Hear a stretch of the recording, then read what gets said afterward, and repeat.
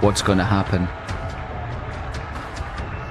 When the red lights go out at 2 o'clock in the afternoon, MotoGP race time. In the next 45 minutes, 25 laps, 70 miles, wheel to wheel, side by side at 200 miles an hour. What's going to happen?